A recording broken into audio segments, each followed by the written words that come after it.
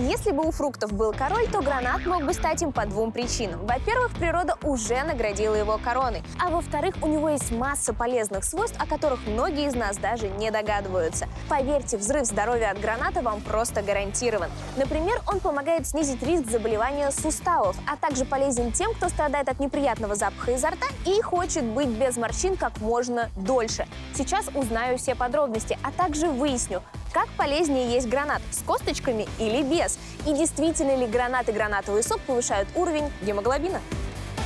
Олег Евгеньевич Ирушкин, врач-эндокринолог, диетолог, кандидат медицинских наук. Олег, здравствуйте. Здравствуйте. Я недавно выпила концентрированный свежевыжатый гранатовый сок, и у меня заболел живот. Что это было? Надо было пить не концентрированный сок, а разбавленный сок, потому что гранат содержит большое количество микроэлементов, витаминов, которых настолько много, что даже может заболеть живот.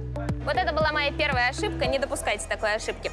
Итак, давайте поговорим про пользу этого прекрасного фрукта. Конечно, гранат называют королем фруктов за счет а, изобилия витаминов, микроэлементов и, конечно же, антиоксидантов, которые необходимы для здоровья всего нашего организма. И девушкам будет особенно интересно, потому что гранат способствует улучшению синтеза коллагена и профилактике образования морщин. Вы правы, стало гораздо интереснее. Гранат содержит в себе два интересных вещества. Первое – это пуниколлагин, и следующее – это пуниковую кислоту. Эти оба вещества обладают сильными противовоспалительными и антиоксидантными свойствами. Кроме того, гранат содержит в своем составе витамин С, который в свою очередь способствует синтезу в организме коллагена и профилактике образования морщин. А вот у меня есть мимические морщины. Если я начну усиленно есть гранат, они рассосутся? Морщины не рассосутся, прямо глядя в зеркало, но будут способствовать профилактике образования новых морщин при регулярном употреблении гранатов. Так, прекрасно. Значит, первое полезное свойство граната – это защищает нашу кожу, помогает ей дольше да, выглядеть молодой. Еще какие у него полезные свойства?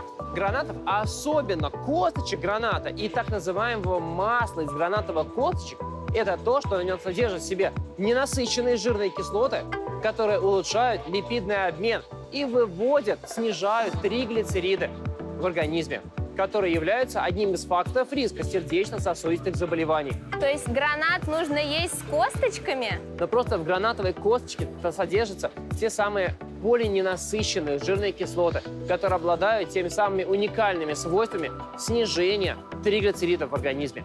Прекрасная новость для ленивых. Гранат едим с косточками.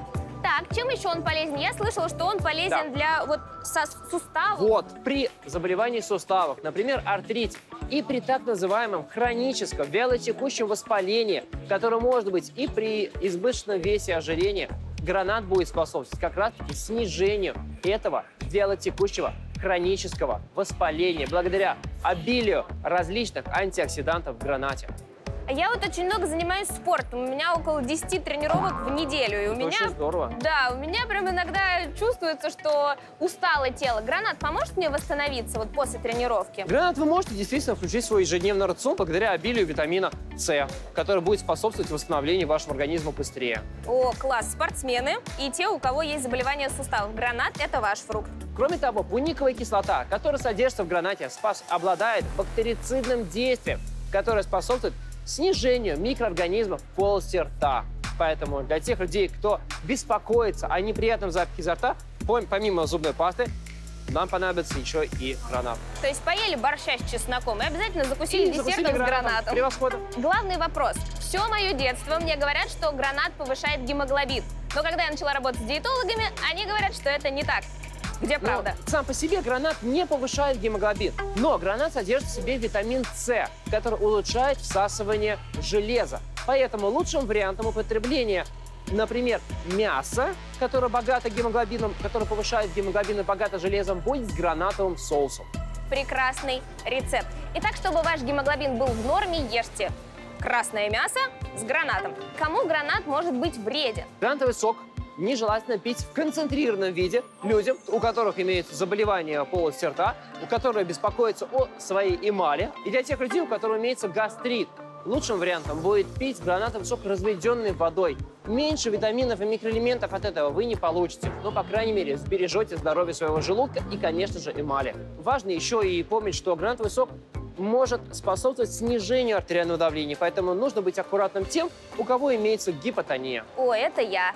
Значит, буду осторожнее. Обычно говорят, что фрукты лучше есть э, ну, вот в таком виде, да, то есть э, сок э, менее полезен, чем сам фрукт. Ну, С конечно, действительно, это касается всех фруктов и гранатов в том числе, что лучшим вариантом будет есть фрукты в свежем виде. Потому что чем менее обработан продукт, тем больше в нем содержится и витаминов, микроэлементов, и клетчатки. Прекрасный фрукт гранат. Я, поскольку очень ленивая, я заметила, что мне гранат уже почистили. Смотрите, оп, я это съем.